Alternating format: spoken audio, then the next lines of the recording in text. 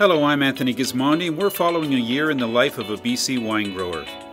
Each season, we look in on four wine growers around the province to experience some of the typical seasonal tasks and learn why and when they are done. This summer, we begin in Lake Country at a vineyard so new it's yet to have an official name. It belongs to the well known CedarCreek Estate Winery, about 30 minute drive south in East Kelowna. Winemaker Taylor Whelan and viticulturalist Kurt Simcic discuss a number of decisions that go into the final weeks of ripening their steep slope Pinot Noir vineyards. I'm here at uh, our Lake Country Vineyard. It's a new vineyard for us, first crop producing this year. Uh, we expect it to be a very unique vineyard. So we don't have anything in Lake Country at this point. All of our Pinot is coming from East Kelowna and, and Naramata.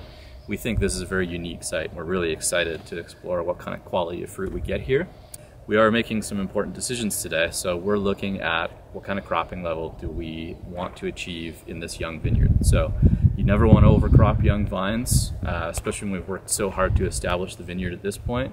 We want to kind of baby them into fruit production. So we're going to go through this vineyard and pretty religiously drop crop to achieve a certain level that we feel is appropriate for the vine age here. So our Lake Country vineyard that we purchased in 2017 has been managed organically since then.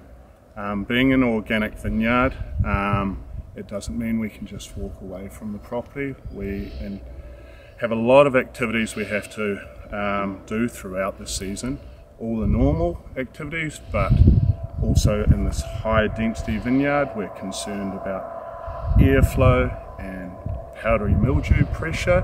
So we tighten our spray margins. We still spray organic sulfur to protect our vines, particularly if the UV is a little bit low, which we're having this year. Um, and then we, what we're going to do today is we're going to do a bit of fruit removal and we're going to work on the morning side of the vines and remove a few leaves to help with that airflow, but also ensure that our products hit the hit their target that we. So at the moment, we're definitely in a period of high powdery pressure. So removing a bit of leaf is going to help us protect the vines. We can see this vineyard obviously is set up a little bit differently than a lot of the vineyards you would have seen. This is what we call a high density vineyard. So the spacing is 1.2 meters by 0.9 meters, which is very, very tight. And to be able to effectively manage a vineyard like this, we need to use special equipment. So we've brought in uh, tractors, which we can see down there behind me, which are manufactured in northern Italy.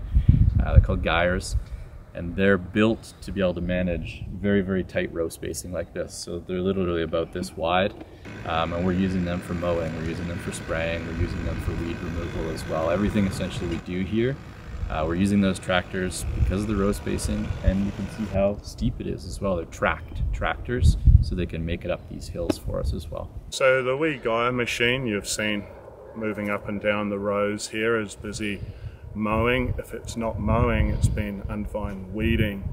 The reason we have to do that um, consistently on this property is to, to help us with our airflow. If we can keep the weeds down, and keep the grasses down and mowed low, it helps helps that airflow, helps protect everything. So we have to stay on top of it. We've got a low fruiting wire. Um, as you can see here, we're only sort of half a metre off the off the ground, so weeds can get up into that canopy really quickly. So we have to stay on top of it, otherwise we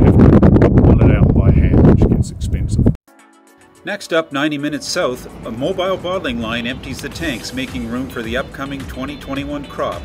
And we learn about the importance of shoot positioning and leaf thinning at the Naramata Bench Boutique, Roche Wines.